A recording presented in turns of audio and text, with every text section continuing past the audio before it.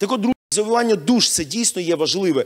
І про це я б сьогодні хотів говорити з кожним із нас. Тема сьогоднішньої проповіді, друзі. Ми плавно, я хочу під'єднати нас до е, наступного вже місяця. Про сім'ю ми вже говорили, можете переслухувати. Але сьогодні хочу говорити на таку тему: виборі душі для Господа. Виборюй душі для Господа. Виборюй душі для Господа. Ви знаєте, друзі, боротьба це така цікава дуже річ. Я пам'ятаю, якось в дитинстві я не дуже, я більш такий, ну, більш там силовими е, видами спорту для мене, але якось ну, був час певний, я ходив на боротьбу дзюдо. Ну, це така більш е, вона гнучка боротьба, вона більш про розуміння механіки і так далі. Там там більш вона більш схожа на айкідо, не така. Але я знаєте, є така силова боротьба, вільна боротьба, е, греко-римська, класична боротьба. Знаєте, друзі, що для цього треба? Для того, щоб цій боротьбі, ось, Влад, ти ж розумієш, да, про що я говорю? Скажи, будь ласка, боротися 6 годин, 6 е, хвилин це як? Складно, скажи. Якщо ти в повну силу борешся, друзі, це дуже складно. 6 хвилин! 6 хвилин! Одна хвилина, дві, три, чотири, п'ять, шість.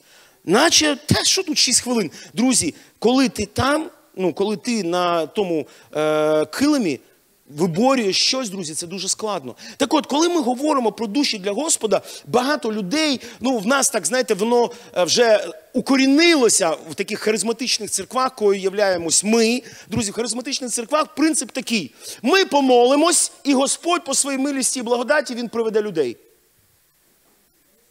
Кому знайоме таке, друзі? Хто знає це? Ми будемо молитися, а Бог буде працювати.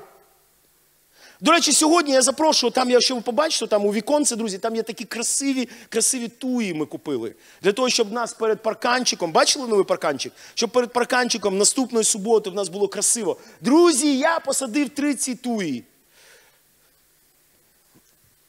Просто руки відвалюються. Тому я сьогодні запрошую, хто хоче навчитися виборювати щось, хлопці особливо, наприкінці служіння 9 туй. Це 9 ям, пів на пів метра а потім викопати, а потім ще й закопати і так далі. Але, друзі, це круто. Тому що ти, знаєте, я я для себе завжди, я будь-яку е, працю, будь-яку, чим я займаюся, я намагаюся завжди порівнювати з тим, що Господь хоче мені говорити. Знаєте, готуючись до цієї проповіді, я зрозумів, що таке виборювати. Я пам'ятаю, коли я тут третю тую, а вона так важить трошки, ну, трошки важить. Її треба підняти, бо там же все коріння, її треба підняти. я так і знаєте, чесно кажучи, встаю з колін. І такий, я не буду цього робити. Всередині мені щось кричить, не треба цього робити, бо це важко. А я потім сам собі говорю, ні, я зроблю це, і потім наприкінці я сфотографую, відправлю дружині і скажу, дивись, як класно я зробив. І я пам'ятаю цей момент, я підходжу до цього дерева. І я всередині себе я кричу Ні. Але коли ти розумієш кінцевий результат, коли ти розумієш дійсно, куди ти йдеш, друзі, ти кажеш собі просто, ні, це треба зробити, і все.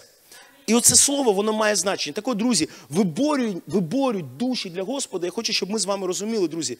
Це не прогулка, не легка прогулянка.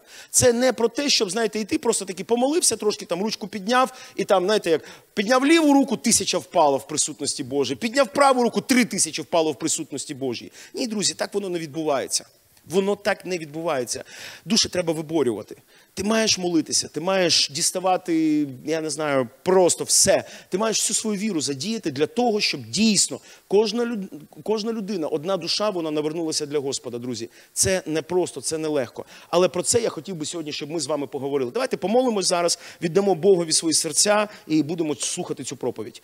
Дорогоцінний Батько Небесний, ми дякуємо сьогодні Тобі за те, що в нас є така можливість слухати Твоє Слово, чути Твоє Слово, слухати. Але дай сьогодні милість і ласку, Господи що нам чути, дійсно почути тебе, дійсно почути в своєму серці те, що ти намагаєшся сказати в наші серця, в ім'я Ісуса Христа. Амінь. Так от, друзі, ця проповідь однозначно не є простою. Чому? Тому що в цій проповіді зараз ми намагатимемось з вами зіштовхнути три світи. Перший це світ Божий, тобто це Боже бачення, те, як Бог сприймає і бачить цей світ. Хто з вас розуміє, що Бог бачить якимось чином цей світ, так чи ні? Окей. А хто з вас також має своє бачення світу, обставин його. Маємо своє бачення? Маємо своє бачення. А хто з вас розуміє, що і само суспільство, воно теж має своє власне усвідомлення, чого вони прагнуть? Так от, друзі, нам потрібно сьогодні в цій проповіді зіштовхнути разом всі ці три світи і зрозуміти для себе, для чого ми це робимо? Для того, щоб зрозуміти, кожен міг зрозуміти для себе, яким чином маю я бачити цей світ. Я його маю сприймати. Ви знаєте, якось я пам'ятаю, у нас ну, один брат, не будемо без імен, один брат на центрі реабілітації. Я пам'ятаю, він прийшов, ну, ми зустрілися, і я, я питаю, як ти, як твоє життя? Він каже, пастор, я прийняв рішення, я йду. І знаєте, от завжди я такий, ну окей, ну ну що, я ж не можу, ми ж не тримаємо людей там силою і так далі. Але чомусь цей раз якось всередині мене не було миру. І я так собі кажу: ні, стоп, ми будемо зараз говорити. І ми почали, я почав з ним говорити. І знаєте, складно говорити з людиною, яка вже прийняла рішення. Хто знає про це? З людиною, яка вже прийняла рішення, дуже складно розмовляти, тому що будь-який твій аргумент він є ну, пиль. Вибачайте, це ніщо взагалі. Тобто, кожен твій аргумент має свій конт, має чотири контраргументи. Спробуйте щось довести жінці, коли вона впевнена в чомусь іншому. Ну, простіше, повірте мені, простіше біля е, стін Єріхону або Карфагену. Ні, друзі, це неможливо майже. Але, але. Я пам'ятаю, Дух Святий так торкнувся, я кажу, треба розмовляти. І ми почали розмовляти. Ми говорили одне, друге, інше. Я не знаю. Я просто всередині молюсь, кажу, Дух Святий, ти давай мені слова, бо я не знаю, чим його переконати, коли в дружи, коли в людини вже є рішення. І знаєте, я вірю, що Дух Святий якимось чином, я точно не знаю, в яким мить, але Дух Святий торкнувся. І слава Богу, він він ще, він зараз є і в церкві, і в центрі реабілітації, і слава Богу, він рухається далі. Але знаєте, друзі, ти ж міг, ну я ж міг тоді сказати, ну, як би до побачення. Ну так, розійшлись шляхи. Хто розуміє, друзі?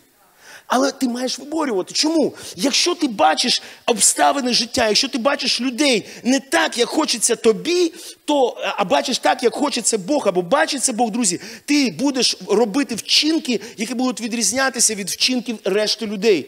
Ти будеш робити те, що решта людей вона б ніколи не робила. Але чому? Тому що ти бачиш світ по-божому. Ви знаєте, є одне місце із Біблії в книзі пророка Ізекіля, якщо не помиляюсь.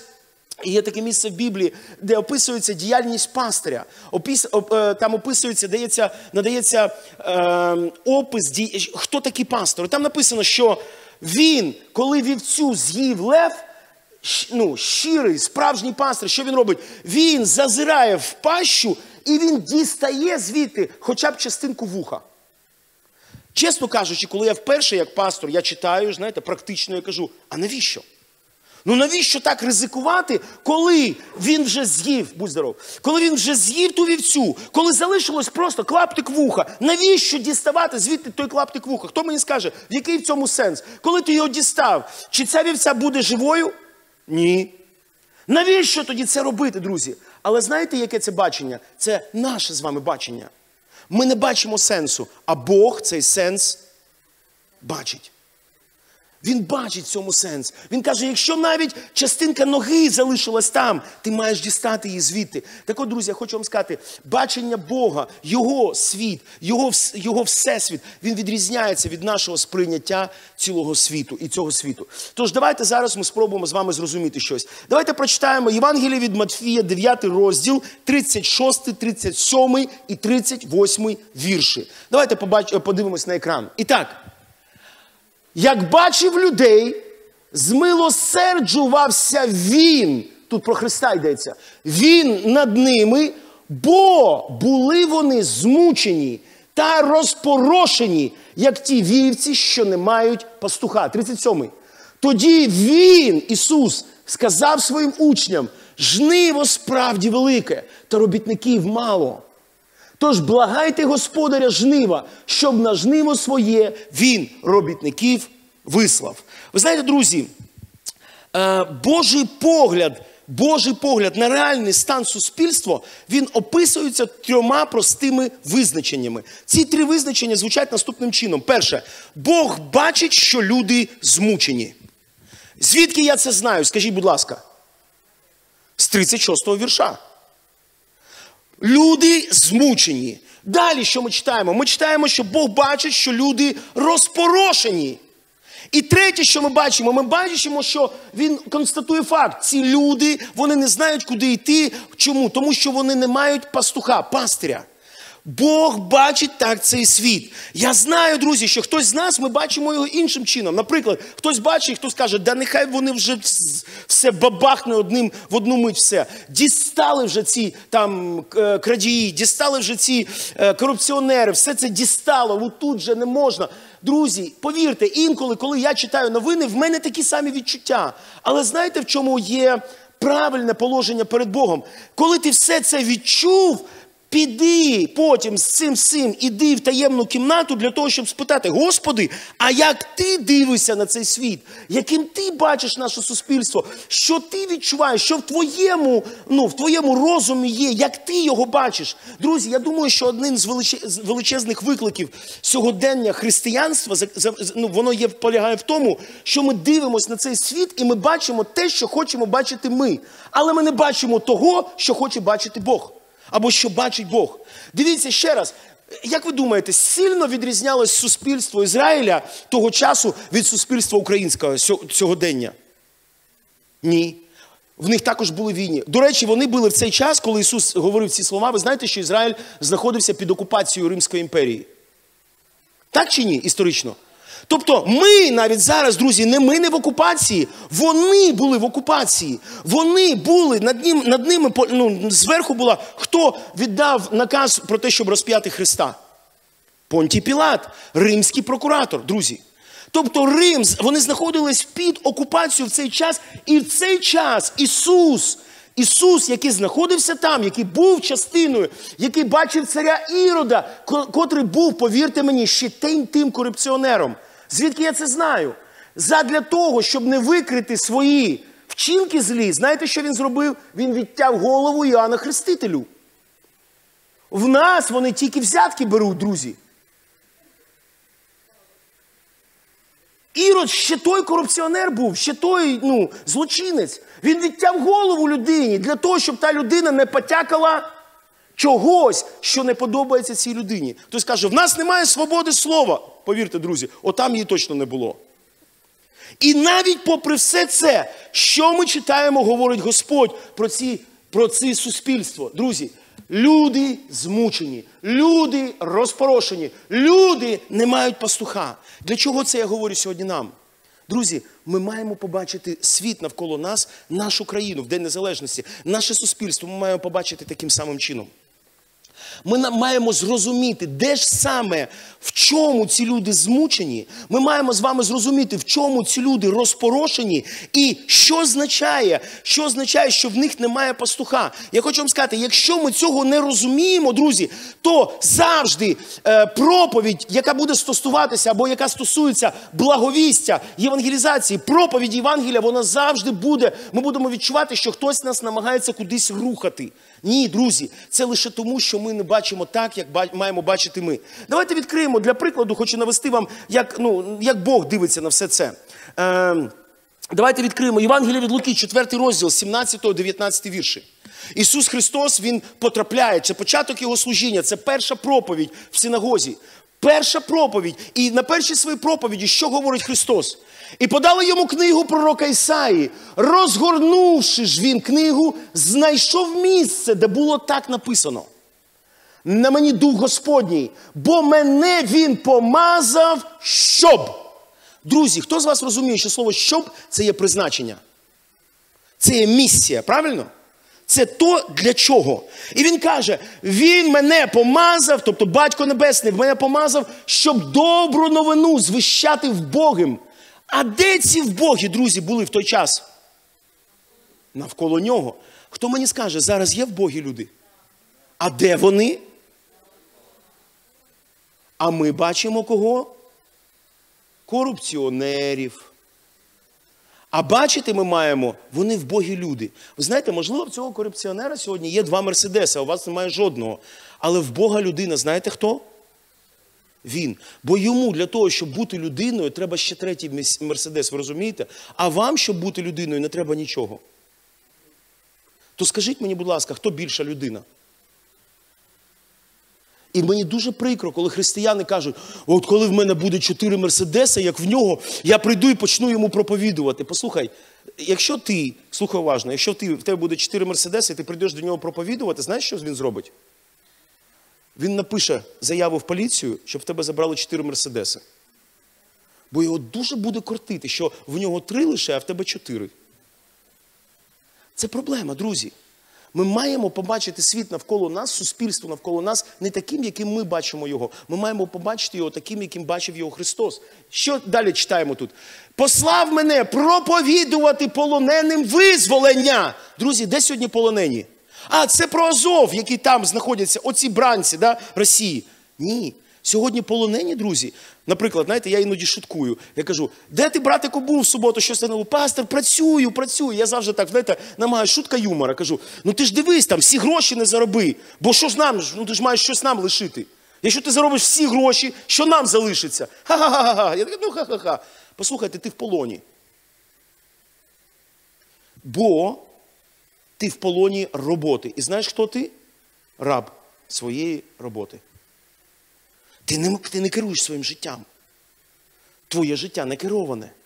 Хтось каже, ну пастор, а що я маю сім днів бути в церкві? А ніхто не запрошує. У нас, до речі, одне служіння всього лише на тиждень. І ти не можеш одного дня навіть бути в церкві. Навіть одного дня ти не можеш бути. Знаєш чому? Ти в полон взяли. А знаєте, скільки людей ще навколо нас зараз в полоні? Мільйони. Проповідувати полоненим визволення, незрячим прозріння. Друзі, хто сьогодні незрячий? Це не товариство сліпих незрячі. Знаєте, хто такий незрячий? Незрячий це ця людина, яка бачить, читає книгу, а бачить нічого. Вона розуміє, вона дивиться на цей світ. А що а що таке? А що? Та все нормально, наче. Ненормально, друзі. Є багато речей, які ненормальні, але вони цього не бачать. Відпустити на волю помучених. Знову, бачите, пам'ятаєте перше визначення, як Бог бачить це суспільство сьогодні? Люди, перше визначення. Змучені. Змучені, він каже, відпустити на волю помучених. Чому він побачив змучених людей? Тому що він розумів, що його місія, його завдання на цій землі це відпустити змучених на волю. Так чи ні?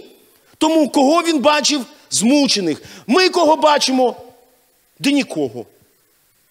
Ви знаєте, я завжди, я пам'ятаю, перше откровення, перше відкриття, яке Бог дав мені як пастору, коли я став пастором. Одне, ну не перше, одне з найперших було. Хто пам'ятає цю історію цікаву? Євангелія від Луки, якщо не помиляюсь, чи від Іоанна. Пам'ятаєте, коли е, е, Петро і його брат вони стояли, вимивали свої сітки біля озера Генісарецького. І Біблія говорить нам, що Ісус Він проходив повз них.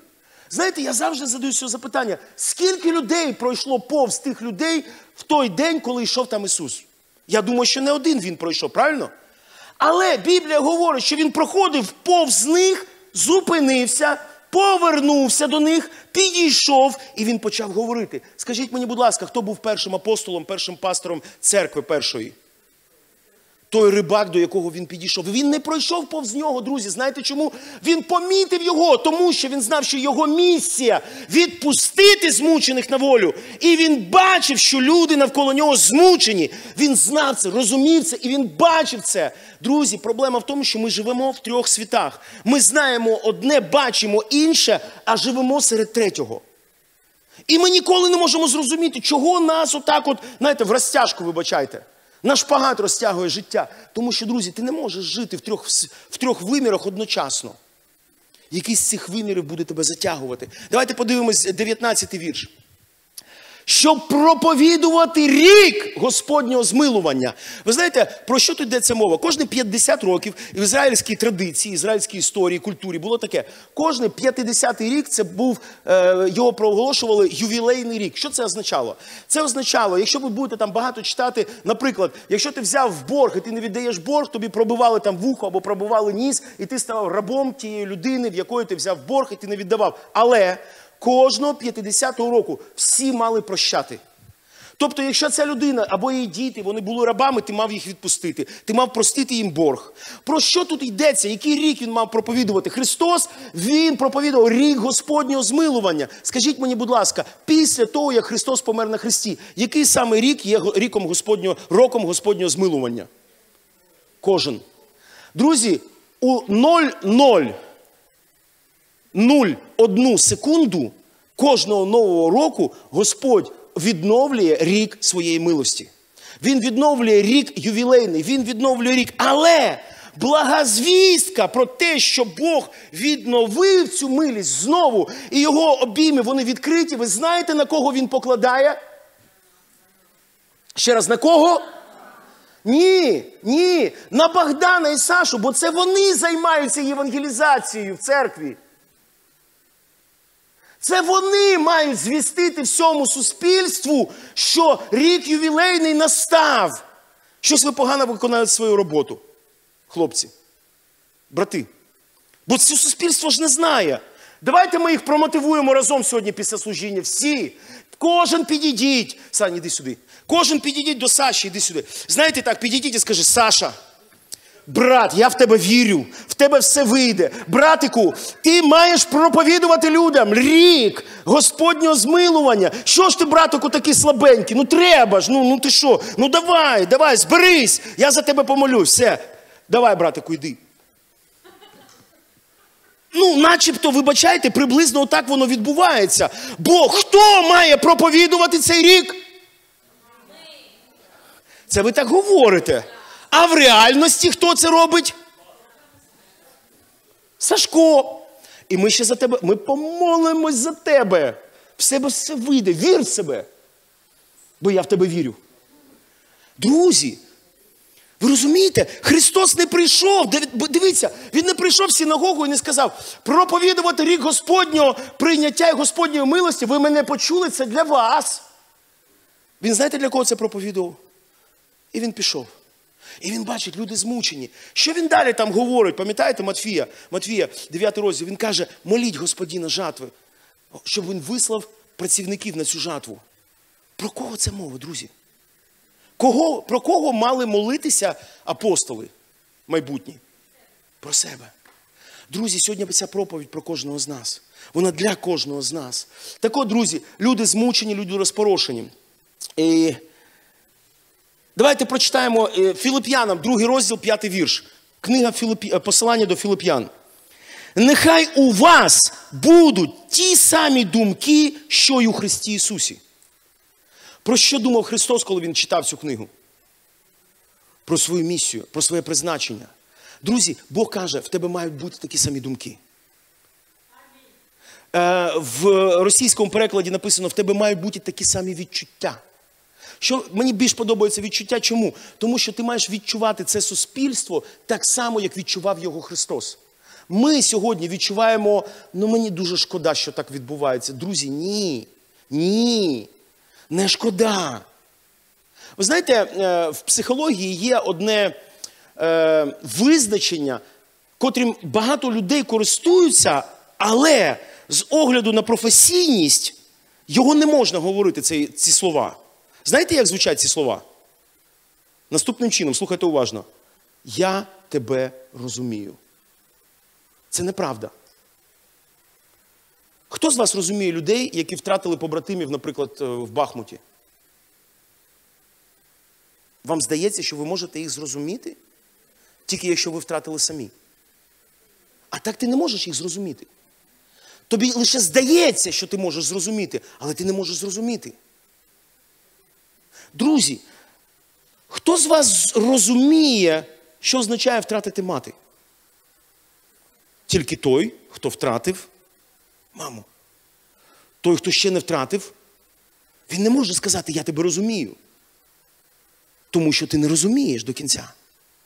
Ти поки що не розумієш цього. Ну, така правда, реальність життя отака, ти не розумієш цього. Тому, друзі, коли Христос говорить тут до Філип'ян, дивіться, що Він каже: у вас мають бути ті самі думки. У вас мають бути такі самі думки, які були в Христі Ісусі. Як це зробити? Я хочу вам сказати дуже просто. Лише коли ти приходиш дійсно в Божу реальність, в Божий Всесвіт, в Його усвідомлення всього, там тобі відкривається глибина його серця.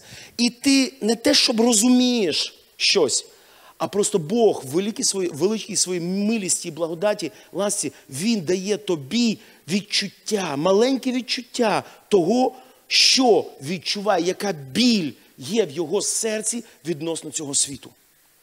Ви знаєте, Небесний Батько, він дуже розуміє, що відбувається з цим світом. Знаєте чому? Тому що коли його син помирав на хресті, Небесний батько бачив це, він все відчував. Тому сьогодні, коли хтось помирає, не спасений в цьому світі, серце небесного батька болить, бо він порівнює цю втрату із тим, що відбувалося на хресті з його однорідним сином. Так чи ні? Ми, друзі, цього не відчуваємо. Ось чому ми не проповідуємо. Тому що нам здається, ну так, знаєте, так, е, ти там щось купив, треба приготувати, треба це помити, треба це придбати. І тут приходить якийсь там е, Богдан і пише: браття і сестри, брати і сестри, давайте підемо на евангелізацію. Ти такий, е, не на часі. Тому що ти не відчуваєш цього. Тому що ти не відчуваєш, що ці люди, можна ще раз, будь ласка, повернути, ці люди змучені, ці люди розпорошені, і ці люди не мають пастуха. Христос проповідував, бо Він це відчував. Хтось хоче сказати на це амінь. Він знав це, він відчував це, він, він, він, він, в нього було це розуміння, усвідомлення, жило в його серці. В наших серцях воно не живе чомусь. Бо ми більше дивимося на самих себе. Знаєте, я для вас записав, що приблизно, так, знаєте, молився, говорю, Господи, ну що ж, ну, ну я ж теж маю до них донести. Що ти маєш на увазі? Я записав для себе. Що це означає? Боже бачення стану суспільства в кожному поколінні. Як саме Бог, що він розуміє ось про ці три визначення, що він розуміє, що він бачить, що сповнює його розум і його серце. Я записав для, це, для вас так. Перше, люди змучені. Що це означає? Це означає, що вони живуть і будують реальне життя самі своїми власними силами. Скажіть, будь ласка, на кого має покладатися людина, яка не знає Бога? На себе самого. Хто мені скаже, а скільки, наскільки обмежені сили, можливості і здатності такої людини? Вони дуже обмежені, правда? Скажіть, будь ласка, чи може людина з такими обмеженими можливостями перемагати цей світ своїми власними силами? Ось чому люди, послухайте уважно, зараз це дуже важливо. Ось чому людина, вона чекає весь тиждень, чекає п'ятниці, що в п'ятницю виключитись від цього світа, бо вона вже втомилась, вона розуміє, що вона виснажена. Хто розуміє, що в понеділок, коли вона прокинеться, краще не буде точно, буде тільки гірше. І так кожного тижня, тиждень за тиждень, тиждень за тиждень. А потім ця людина вона входить в піке для чого? Щоб взагалі не прокидатися, розумієте? Бо вона не хоче стикатися з цим світом, вона не може. Якщо вона на тверезу стикнеться з цим світом, все. Під машину треба кидатися. Бо так неможливо. Так от, друзі, вони, люди змучені, тому що вони живуть і будують реальне життя самі. Скажіть, будь ласка, серед вашого оточення є люди, які власними силами намагаються збудувати гарне, якісне, класне життя. Багато людей таких є у вас. Я вам хочу сказати, 99,9%, друзі, це люди, які так живуть. Тож скажіть, будь ласка, як ви гадаєте, вони змучені чи ні? Звичайно, що вони змучені. Чому Христос, дивлячись на толпи людей навколо себе, Він сказав, вони змучені. Тому що, знаєте, вони не від гарного життя пішли слухати якоїсь людини в пустелі. Вони не від гарного життя, друзі. Скажіть, будь ласка, хто ходив за Христом? Жінка, яка 12 років страдала від кровотечі. 12 років день в день, друзі. І тоді не було там якоїсь терапії, яка піднімала б гемоглобін. Розумієте? 12 років кровотеча день в день, хвилина в хвилину, мить в мить, в неї кровотеча без, беззупинно йде. Отакі люди ходили за Христом, друзі. І не тому Христос сказав, вони змучені. Знаєте, іноді подивися на деяких людей, дивися, наприклад, на Женю, думаєш, та ні, ну чого він змучений? Послухайте, те, що людина посміхається, ще не означає, що в цієї людини все окей. Хто пам'ятає, була така радянська співачка е, Анна Герман. Хто пам'ятає? Якщо ви знайомі з її автобіографією, друзі, ви знаєте, що вона померла достатньо молодою від рака. Але якщо ви почитаєте її, ну, ну дізнаєтесь її біографію, там були втрати дітей і сім'ї, і вона взагалі виходила, співала, і ти наче дивишся тако, о, яка успішна, гарна жінка. А коли вона спускалась зі сцени, в неї, друзі, в неї в хлам розірване життя, ви розумієте? В хлам розірване абсолютно. Бо вона намагалася своїми власними силами щось збудувати і змінити. Всі цього сьогодні, друзі, більшість, абсолютно більшість суспільства, в якому ми живемо, вона намагається сьогодні зробити. Ви думаєте, друзі, що та людина, яка сьогодні корупціонер, ви думаєте чесно, от чесно вам скажу, ви що думаєте реально, що вона не плаче по ночах? Я вам скажу чесно, вона плаче, вона краде, а потім плаче, а потім знов краде, бо розуміє, іншого шляху немає. Бо єдине, на що вона може покладатися, це на ці гроші, на можливості, які в неї є. І коли її знімають з цієї посади, вона теж плаче, тому що в неї забрали можливості, в неї немає сил. Ви думаєте, друзі, ці люди, знаєте, я пам'ятаю цей, ну, вибачте, не канонічну притчу. Ви знаєте, хто сама печальна людина на світі? Знаєте, хто сама печальна? Повар в дитячому садочку. Бо вона любить діточок, але краде в них м'ясо. Розумієте, друзі? Ось вона вона краде і плаче. Плаче і краде. Отака доля в неї, розумієте? Скажіть, будь ласка, вона буде змучена? Ой, вона змучена. Хтось скаже, та ні, в неї просто совісті нема. Можливо, в неї совість вже і згоріла. Але повірте, до цього вона була змучена. Тому, друзі, люди живуть, будують реальне життя самі своїми власними силами, можливостями і баченням, але це виснажує їх. Ви розумієте? Вони не можуть нормально спати. Це виснажує їх. Це отак. Е, е. Знаєте, зараз третій рік війни, і я читаю дописи багатьох волонтерів. Чесно кажучи, іноді сам відчуваю це, але я ніколи цього не пишу. Чому? Тому що я розумію, що цього не треба робити. Знаєте, є волонтери, які пишуть. Третій рік війни. Ви вже втомилися від війни. Да хто ви такі? А ви знаєте, як військовим? Послухайте, це не мотивує людей е, ще донатити. Ну розумієте це чи ні? Такі слова, вони нічого не народжують в серці людини, окрім знаєте чого? Ненависті. Так, ти це розумієш, але люди навколо тебе, вони не так розуміють, що ти маєш зробити. Донеси до них. Донеси до них, стань для них доброю звісткою, донеси до них, чому це треба робити.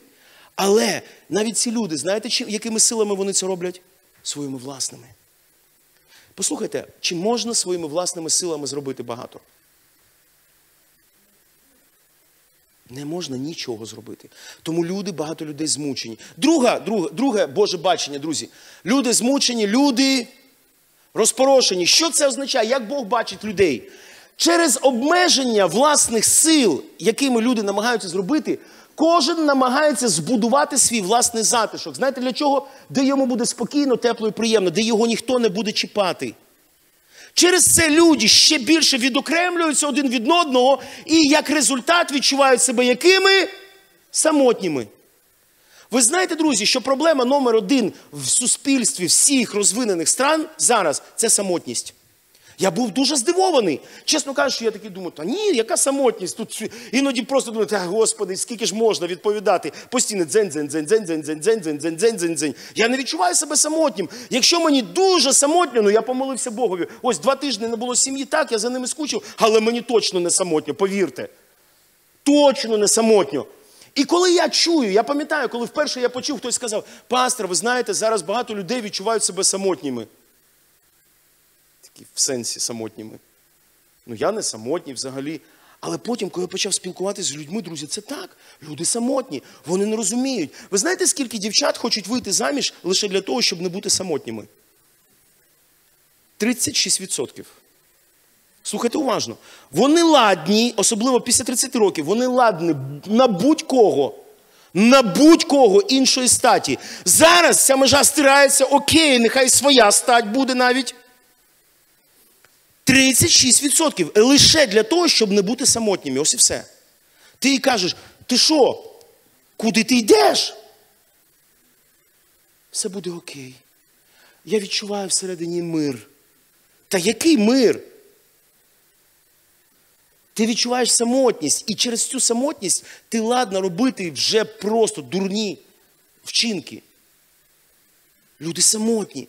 Друзі, люди розпорошені, і це лише поглиблює розділення серед людей, що робить людей ще більш самотними. Що побачив Христос, коли Він побачив цих людей? Він побачив, що вони розпорошені. Він бачить, слухай, їм у них проблема. І третє, що ми бачимо. Третє, люди не мають пастиря. Це означає, що у людей є бажання, у них є прагнення, але самі по собі ці бажання і прагнення вони не рухають їх вперед. Максимум, друзі, це або біг по колу. Скажіть, будь ласка, яка результативність біга по колу? Куди ти добіжиш? Нікуди. Або це повільне сповзання вниз. Послухайте, все, що сьогодні роблять люди, вони або бігають по колу отак, наматують кола, або вони повільно сповзають вниз, і їм здається, ось дивіться, наприклад, що таке сповзання вниз? Дивіться, чи рухаюсь я зараз чи ні? От дивіться, в русі я знаходжусь чи ні? Дивіться.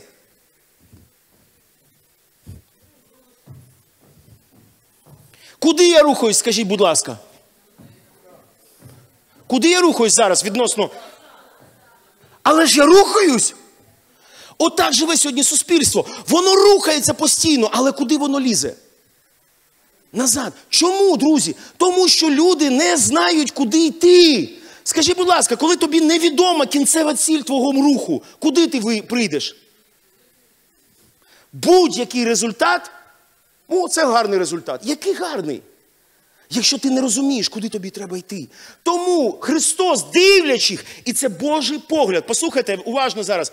Це Божий погляд, це Боже світе сприйняття, сприйняття кожного суспільства в кожному поколінні. В 19 сторіччі, в 16 сторіччі, в 20 сторіччі, в 21 сторіччі, в 24 сторіччі. Якщо прийшов Христос і подивився на суспільство навколо нас, він би сказав три визначення. Нагадайте, які вони? Перше, люди, які змучені. Друге, люди. Люди не знають, куди йти, не мають пастиря. Друзі, я, чому я це говорю сьогодні кожному з нас? Щоб ми зрозуміли, суспільство навколо нас не таке, яким ми бачимо його. А насправді суспільство таке, яким його бачить. Що треба зробити? Треба провести ревізію в своїй голові, в своєму серці. Хтось скаже, пастор, ну я, ну, вибачайте, я трошки з вами не погоджуюсь зараз. Ну я так не бачу його. Ну я трошки його іншим чином бачу. Ну, вибачайте, зараз намагаюсь бути дуже політкоректним. Мені все одно. Сказав би м'якше мені плювати, але просто скажу мені все одно. Бо знаєте, друзі, історія довела, що те, що розуміємо і бачимо ми, жодним чином, жодним чином не впливає на те, що бачить Бог. Скажіть мені, будь ласка, що відбудеться, якщо зараз впущу, ну, впущу цей телефон? А давайте, наприклад, оця, цей сектор, давайте зараз спробуємо, давайте зробимо експеримент. Дивіться, ви всі, а ні, давайте так. Два сектори, оці два сектори, раз і два. Два сектори. Я зараз спитаю вас, а ви мені скажіть, він полетить вверх. Він полетить або буде лівітувати. Знаєте. Добре, тільки треба так переконливо робити це. А ви кажіть, що ні, він впаде. Давайте, три-чотири. Що відбудеться з цим телефоном? Кого мені слухатись, скажіть, будь ласка? Кого мені слухатись зараз? Ви такі переконливі. А ви якісь, ви якісь, слухайте уважно, ви якісь непозитивні люди. Треба бути позитивною людиною. Треба вірити, що все буде добренько. Якісь ви непозитивні. А, то ще віру. А, я погоджуюсь, брат. Алілуя, розрушаю в ім'я Ісуса Христа. Все буде добре. Вона вийде за невіруючу людину. І вони разом будуть служити Господові. Він зміниться обов'язково, він перестане бухати. Вибачайте, друзі. Да. Але міра, друзі, це буде величезна. Послухайте, друзі, що б не говорили люди, ви розумієте, що тільки Боже світосприйняття, воно є правдивим і реальним. Хтось хоче сказати на це амінь. Зрозумійте це, друзі. Я це говорю не тому, що я пастор. Ну, чесно, абсолютно. От зараз просто готовий навіть от сказати, все, я не пастор, але маючи 30-річний досвід зараз, я з одним братом розмовляв, я кажу, слухай, він мені щось розказує, а я, я сміюсь трохи, знаєте, посміхаюсь. Чому? Я кажу, слухай, ти вже третя хвиля за мої майже 30 років християнства, ти вже третя хвиля, коли я пояснюю одне й те саме. Хто покаявся в 90-ті роки ще? Хто пам'ятає оцих братків, які приходили до Бога? І я пам'ятаю, я йому пояснюю, кажу, слухай, ну не треба, ну кидайте ці речі, воно тебе до добра не доведе. Та що ти іменно, все буде чотенько, Господь со мною, Боженька, Он со мною. Знаєте, де ці люди зараз? Один відсоток вони зараз служителі Божі, 99 вони ходять отак от. І іменно мурчать всі. Вони втратили родини, все повтрачали. Знаєте чому? Тому що їм здавалося, що вони праві. Але правим був хто? Бог. Потім я пояснював 2004-2008 роки, я пояснював, слухай, тобі не треба бути мільйонером. Хто пам'ятає, про що я говорю? Ви комусь намагалися це пояснити? Мені приходить, я пам'ятаю. Треба вкласти гроші. І знаєте, він такий, я зараз тобі щось скажу. Треба брати кредит, треба вкладати гроші. Я кажу, зидь від мене сатана.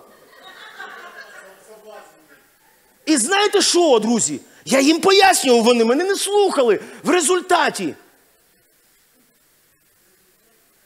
Зараз пояснюю теж, кажу, слухай.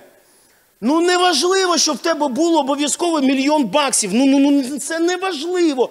Знаєте, я вчора, е, позавчора, точніше, позавчора відкриваю е, телеграм, новини там є новинні канали. Відкриваю, і там, знаєте, така цікава, знаєте, фото такої цікавої, гарної, ну така е, симпатична дівчина. І поруч ще фото, такі два бланжа, насяри, отакі губи. І це, друзі, не ну, пластична операція. Її бойфренд, відомий дуже теж блогер, побив її, слухайте уважно. І найголовніше, це ж просто, ну, це, оце фантастика, слухайте уважно. Так само, як він вчиняв із всіма своїми дівчатами до неї. Ну, в мене просте питання. Ти нормальна? З тобою все окей? Що ти думаєш, якщо він бив, бив всіх до тебе, мене він бити не буде. І знаєте, така новина. Я особенная. Я його ісправлю. То любить сильно, бо в неї такі. Хто, хто бачив цю новину? Хто бачив, крім мене? Бачили? Ну, такі губи, ну такі набив їй, такі губи, такі. Там, ну, марафет навів по. Да. Та я не знаю, що то було, друзі. Я до чого веду? Ну зрозумійте ви, Бог правий. Хтось хоче сказати на це амінь? Ну Бог правий. Він не помиляється. І коли він дивиться сьогодні на суспільство, друзі, він каже, що люди змучені, люди розпорошені, люди не мають пастора. До кого він намагається звертатись? Скажіть, будь ласка. До кого? До Богдана і до Саші.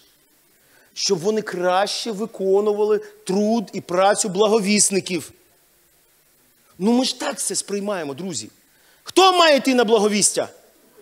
Хтось. Бо я зараз працюю. Я незалежний. Ой, ой, ой, ой. І так, друзі. Єремія, перший розділ, 11-12 вірш. Зараз будемо закінчувати вже, бо нам ж треба молитися. Да? Хто молиться в нас сьогодні? Центр реабілітації. Але, будь ласка, пастор Іван, ви пам'ятаєте, да, про що? Нагадайте, пастор Свят. І так, Єремія, перший розділ, 11-12 вірш. І було мені слово Господнє, говорячи, дивіться сюди. Що ти бачиш, Єремія? Дивіться, Бог звертається до Єремії. І він каже, що ти бачиш? От слухайте, таке дуже дивне питання. От скажіть, будь ласка, якби я зараз запитав вас, отаке запитання, ви мене бачите? Ви би відповіли, бачимо, але у вас виникло питання просте, яке? Ти що, дурний? Ми ж на тебе дивимось. Так само, слухайте, Єремія щось бачить, реально бачить. І Бог його запитує, так а що ти бачиш? Я б, я б чесно, на місці Єремії, я б спитав, у мене б таке, я б спит... ну, у мене відповідь була б така. Е, я вибачаюсь, а що ти бачиш? Ну я б спитав, що ти маєш на увазі? Я бачу. Ви знаєте, проблема в тому, що багатьом з нам здається, друзі, що бачить Бог, бачить те саме, що бачимо ми. Але це є неправда. Бог бачить інше. Там, де нам здається можливість, Бог каже, навіть не йди туди. Там, де нам здається, шляху немає, Бог каже, йди, я хочу, щоб ти йшов. Люди, друзі, брати, сестри, Бог бачить інше. Дивіться, що ти бачиш, Єремії? Я відказав, я бачу мігдалеву галузку. Ну, от він так бачить. І що відповідає Бог йому? 12 вірш. І сказав мені Господь, ти добре бачиш. В іншому перекладі, ти правильно бачиш. Послухайте, якщо Бог каже, що ти правильно бачиш, то можна було побачити і неправильно. Друзі, ще раз кажу, те, що іноді нам здається вірним, Бог на це дивиться і він каже: ні, не роби цього. Це неправильно, це невірно, так не треба робити. Ви знаєте, люди, ми ми ж пристосуванці. Раніше, я пам'ятаю, десь наприкінці 90-х люди приходили і казали, пастор, я хочу з вами порадитись. І ти давав там людям раду, щось говорив, і вони такі. Я не згодний, ну ладно, окей. Зараз люди стали більш винахідливими. Знаєте, як вони приходять? Слухайте уважно. Вони приходять так: пастор, я прийняв рішення, але я прийшов порадитись. А про що ти хочеш радитись, якщо ти вже прийняв рішення? Ви ніколи не давали ради людині, яка вже прийняла рішення? Це саме, друзі, не, ну, це, це дуже негарне діло. Тому що, що б ти не говорив, відлітає. Рішення є. Що, Про що говорити? Але, друзі, коли ти приходиш до Бога, ти не можеш так робити. Ми не маємо приходити до Бога і нав'язувати йому те, що здається нам, те, що бачимо ми, бо Бог бачить трохи інше. Так от, друзі, про що, до чого я веду? Давайте ми прочитаємо ще раз, друзі. Перше Тимофію, не перше, а не ще раз, вибачте, перше послання Тимофію, другий розділ, третій, четвертий вірші. Мені дуже подобається це місце з Біблії. Уважно зараз почитайте. Бо це добре і приємне Спасителеві нашому Богові. Давайте зупинимось на цьому. Скажіть, будь ласка, якщо щось добре Богові, хто з вас любить Бога? Скажіть? Ну, реально, хто любить Бога? Ви точно його любите? Реально любите його? Тепер у мене питання: якщо йому щось добре і приємно, хто хотів би добре і приємно йому зробити теж? Ви ж любите його? Паша, ти любиш дружину? Робиш їй приємне? Чому? Бо любиш, правильно? Ти любиш Ісуса? Якщо йому щось приємне, хочеш зробити йому приємне? Хочеш точно? Давай прочитаємо 12 вірш. Що хоче, щоб усі люди спаслися, прийшли до пізнання правди. Господи, я вибачаюсь, вибачаюсь, але тільки е, тільки 15 хвилин на тиждень. Більш не можу. То ти його любиш чи ні? Ну, питання. То ти його любиш чи ні? Я не кажу, що не треба працювати. Я кажу, друзі, що весь вільний час людина, яка любить, вона намагається приділити кому? Тому, кого вона. Бачите, все дуже просто. Всі ж знаємо правильну відповідь. Що робити? Знати знаємо, робити. Отака штука. Ось ми, да, дивні створіння.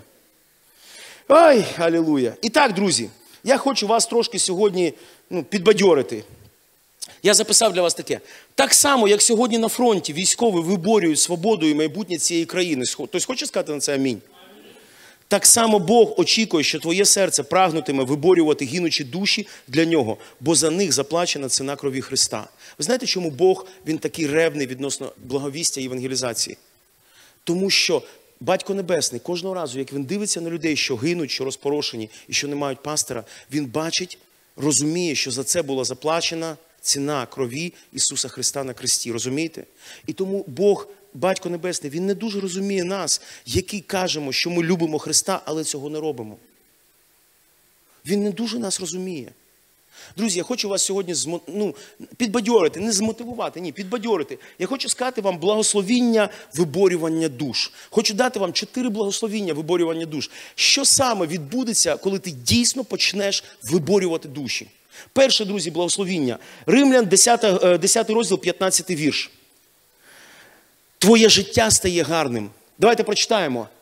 І як будуть проповідувати, коли не будуть послані, як написано, які гарні ноги благовісників миру, благовісників добра. Друзі, твоє життя стає гарним, коли ти починаєш благовістити. Амінь. Друге, друге, ти отримуєш свою нагороду від Бога. Хто хоче отримати нагороду від Бога? Друзі, я хочу я хочу бігти. 30 років я бігу, я хочу отримати свою нагороду. І яка це нагорода? Даніїл, 12 розділ, 3 вірш. А розумні будуть сяяти, як світила небозводу, і ті, хто провів багатьох до праведності, немов зорі на віки віків. Ті, хто провів людей до праведності, друзі, ця людина буде сяяти у вічності. Третє благословіння, друзі, це благословіння співпраці з Богом. Хто з вас хотів би співпрацювати, бути в одній команді з Богом? Я хочу бути з ним в команді. Давайте прочитаємо Якова 5.20. Хай знає, що той, хто грішника навернув від його блудної дороги, той душу його спасає від смерті та безліч гріхів покриває. Скажіть, будь ласка, хто хоче, щоб людина була спасена? Бог. Коли ти спасаєш грішників, ти співпрацюєш із Богом. Ти з ним в одній команді. І четверте благословіння, друзі. Давайте від, відкриємо Матфія 9.38, те, що ми говорили. Він каже тут: тож благайте господаря жнив, щоб на жниво своє він робітників вислав. В тебе починається палка молитва. Послухайте, коли ти виборюєш душі, коли ти розумієш, що сенсом твого життя є не побудова власної комфортної оселі і затишку в цьому житті, а коли ти розумієш дійсно, що ти хочеш разом із Богом бути виборювачем цих душ, в тебе починається палка молитва. Хто з вас страждає інколи, що ваша молитва вам здається, вона не така, як була раніше? Почніть хвилюватися, почніть, е, почніть торкатися життів людей, почніть торкатися, почніть виборювати їх душі, і ви побачите, якою палкою стає ваша молитва. Знаєте, цього тижня е, звернувся один брат і каже: слухай, в мене там родичка, вона відпала від Бога. І знаєте, я спочатку такий, ну да, ну окей, знаєте, як все. А потім ввечері я молюся, і Дух Святий мені нагадує, він каже, оці слова з Єзикіля, він каже, іди і спасай хоча б вухо. Я кажу, Господи, ну так а навіщо? Сенсу немає. Він каже, іди і спасай. Я телефон, немає номера. Господи, в мене немає телефона. А Дух Святий каже, ти що не знаєш, де його знайти? Я дзвоню, кажу, слухай, дай мені номер. Дзвоню, не відповідає такий. Хух! А Дух Святий нагадує ще. І знаєте, я поспілкувався, і людина плаче вже, і людина каже, слухай, в мене проблема. Я розумію. Я знаю, друзі, можливо, це не є щиро, але я не знаю, що далі буде. Я знаю, що за цю душу треба боротися, молитися. І знаєте, молитва, яка стає твоя тоді? Палка. Ти починаєш жити. Тебе немає цього, ну, в мене зараз такий період. Ні, я розумію, що ця душа. Знаєте, в мене Бог мені одного разу він мене дуже добре навчив. Я пам'ятаю, багато років е, тому якось ми мали е, ну, було таке, коли людина приходила нова до церкви, ти мав піддзвонити їй, там подзвонити, привітати, запросити на служіння. І я пам'ятаю, мені дали там список, сказали, треба подзвонити. І я такий, да-да-да-да-да. Знаєте, як ми всі? І да-да-да, я подзвоню, да-да-да, я подзвоню, да-да-да-да-да. І пройшов місяць, і Дух Святий мене так, знаєте, бах, прямо торкнув такий такий, фу, я так злякався, я думаю, не треба дзвонити. І я дзвоню одному е, чоловікові, дзвоню, кажу, там хтось бере трубку, слухавку, я кажу, можна таку людину, будь ласка, там до телефону. Він каже, ні, його немає. Я, ну, в сенсі. А він дві, два тижні тому помер. І знаєте, що мені Дух Святий він сказав? Він помер, а ти не схотів. Ти міг, але ти не схотів. Це був твій вибір. Тому, друзі, я сьогодні хочу сказати: виборюйте душу для Господа. Якщо у вас сьогодні бачення цього світу, воно трохи різниця від того, яким його бачить Господь. Поверніться до цього місця з Біблії, Матвія, 9 розділ, 35, о, 36, 37, 38 вірші. Почніть питати Господь, яким бачиш цей світ ти. Дай мені це зрозуміти, дай мені це відчути. Ну, давайте схилимо наші голови, зараз будемо молитися.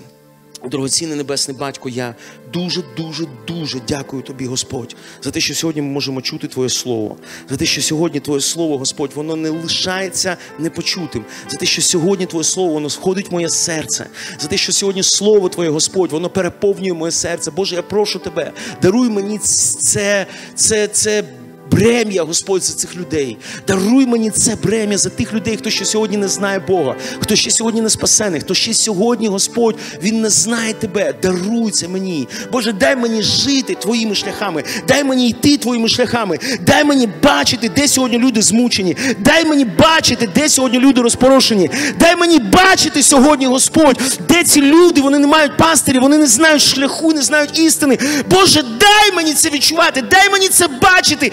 Дай переживати це в своєму серці, Господи. Не дай мені лишатися номінальним християнином. Не дай мені лишатися тим, Господи, хто сьогодні задовольняється в тим, що в мене є благословіння. Не дай мені лишатися, Боже, таким. Дай мені твій вогонь в серце. Нехай серце палає для Тебе. Нехай серце палає в благовісті, Боже, Тобі. В ім'я Ісуса Христа. Амінь. Амінь. Я думаю, друзі, щось Господь сьогодні комусь говорив серце.